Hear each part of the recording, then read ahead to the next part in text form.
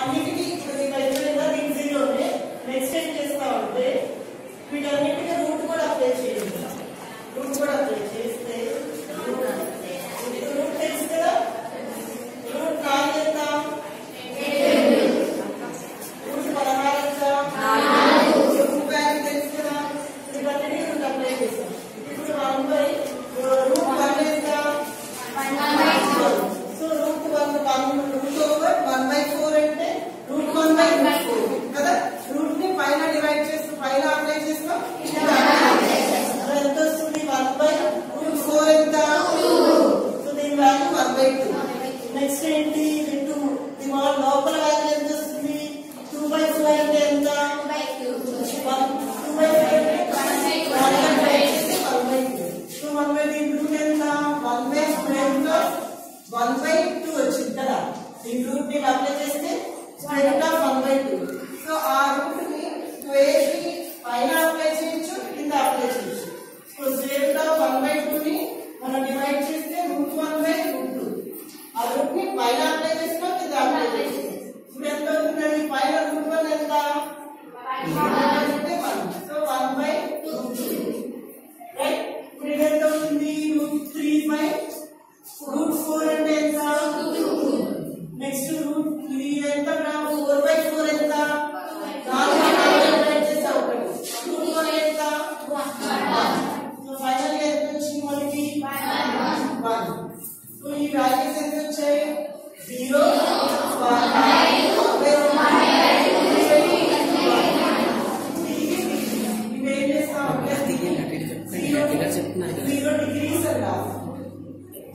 కి థర్టీ డిగ్రీస్కి రాసుకుంటున్నాం.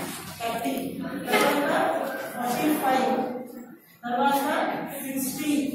తర్వాత నైన్టీ ఇలా డిగ్రీస్ రాస్తాం డిగ్రీస్ రాసి దీనికి మీకు నచ్చిన చెప్పకూడదు ఒక ఆర్ట్ ఉంటుంది దానికి ఆ ఆర్ట్ ప్రకారం ఆ వేవ్ లెన్స్ ఉంటాయి. వేవ్ లెన్స్ అంటే తాగుతాయి ఆ తాగుతాయి వాల్యూ ప్రకారం చెప్పాలన్నమాట. మనకి నోట్కి వచ్చి రెడ్ ఎల్లో బ్లూ గ్రీన్ అలా చెప్పుకోండి. అంటే తెలుసా? విఐవి జీవై ఓఆర్ విజయాల్ ఎన్నో లెక్క ఏంటి విఐవి జీవై ఓఆర్ ఎవరు మన రైతులో విద్యాలు అంటే for violet. B for I అంటే indigo. Indigo. B means blue. Blue colour Hindi color. Blue G for green. ఇంకో green. Y for yellow O for orange.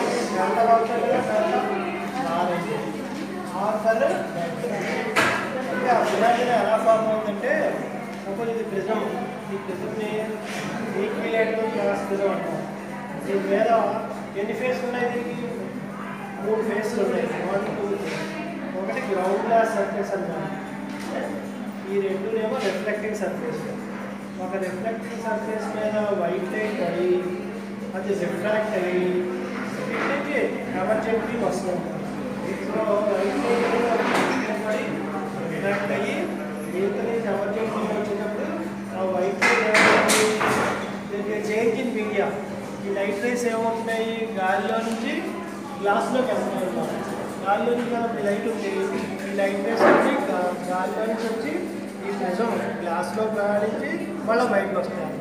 అన్నమాట దాని చేంజ్ ఆఫ్ మీడియా ఆ మీడియా చేంజ్ అవ్వడం వల్ల ఈ వైట్ లైట్ అనేది seven colours కింద డివైడ్ అవుతుంది.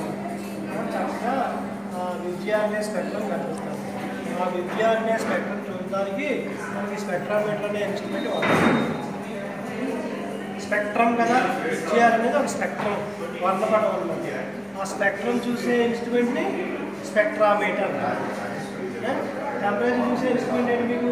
టెంపరామీటర్ కరెంట్ మెజర్ చేసేది ఏంటి యానిమేటర్ ఉదాహరణ కొలకేషియా చామదుంపలు అంటారు దీనికి కూడా కనుపులు కనుపు మధ్యమాలు ఉంటాయి కనుపు మధ్యమాల పైన స్కేల్ లీవ్స్ ఉంటాయి పొలుసు పొలుసు ఆకులు పొలుసులు అంటారు కదా అలాంటివి ఉంటాయి అవి ఏంటంటే ఈ కనుపుల నుండి వేళ్ళని వచ్చి ఇవి శాఖయ్య ఆ, దీనికి axillary axillary buds terminal buds ఉంటాయి. ఇవి శాఖ ఉత్పత్తికి దోహదపడతాయి.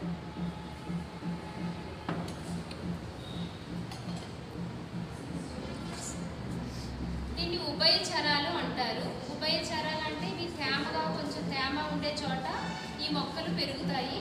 దీన్ని మాసెస్ అని కూడా అంటారు. ఇందులోని ఇది దీని అంతర్నిర్మాణం ఒక స్పాంజీ లాగా ఉంటుంది. దీనిపైన రెండు మేల్ అదే స్త్రీ పురుషాంగాలు పెరుగుతాయి. ఈ స్త్రీ పురుష స్త్రీ పురుషాంగాన్ని ఆర్కిగోనియం అని ద పురుష మే పురుషాంగాన్ని యాంథ్రీడియం అని అంటారు. ఆర్కిగో అదే స్త్రీ దానికి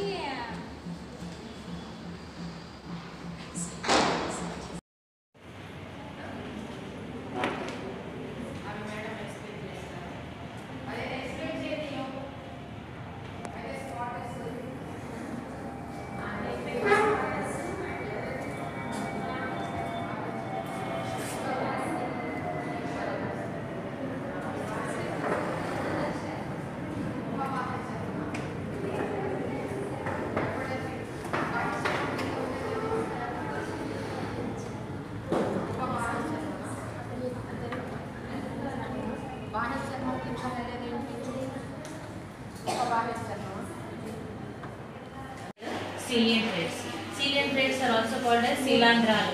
తెలుగులో? అవి సో వాటిలో చూడండి ఇవన్నీ ఉన్నాయి కదా ఇవన్నీ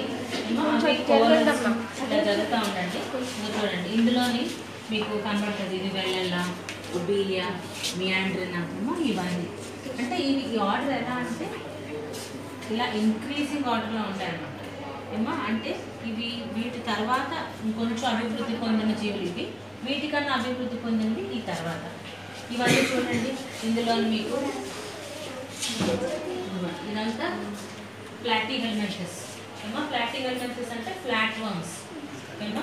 అంటే మీకు బద్దె పురుగులు అవి ఉంటాయి కదా అలాంటివి అన్నీ ఫ్లాటీ హెల్మెంటస్ అనమాట ఫ్లాటీ హెల్మెంటస్ తర్వాత ఇదిగోండి డిమాంటీ హెల్మెంటస్ డిమాంటీ హెల్మెంటస్ అంటే రౌండ్ వర్మ్స్ ఏమో?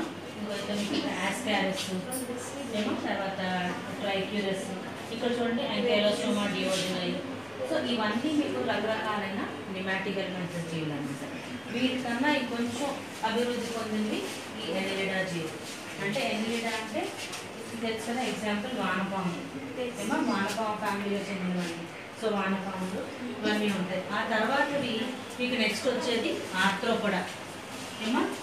ఆర్థ్రోపొడా అంటే ఏముంది? ఆర్థ్రోపొడాలో రకరకాలైన పురుగులు. ఏమో? పురుగులు తర్వాత అలాగే రొయ్యలు కీటకాలు రొయ్యలు పీతలు ఇవన్నీ కలిపితే ఆర్థ్రోపొడా ఏమో? ఆర్థ్రోపొడా తర్వాత మీకు వచ్చేది చూడండి. అవన్నీ కూడా ఆర్థ్రోపొడా ఆ తర్వాత వచ్చేవి మొలస్కా. మొలస్కా అంటే అది చూడండి అన్ని పైల గవ్వలో. అంటే పైన ఒక కర్పూరంలా ఉంది. దాంట్లో నివసించే జీవులై మనం ఆగుతుంది పక్కన.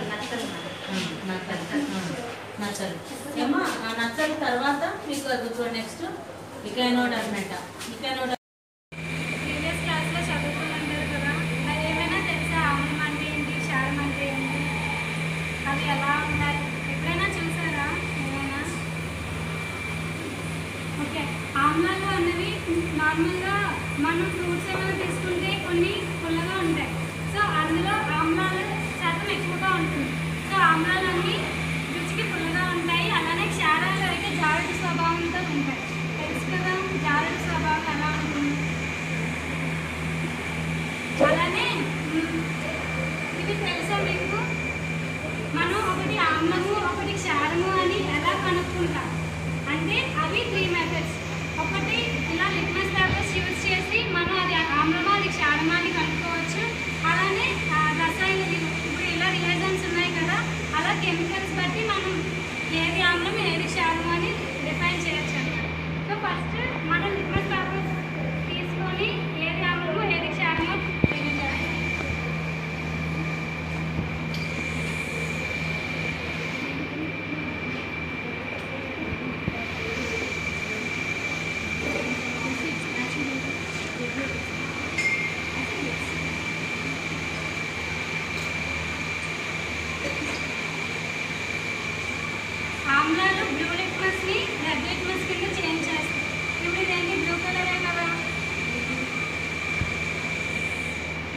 చూడండి రెడ్ కలర్లోకి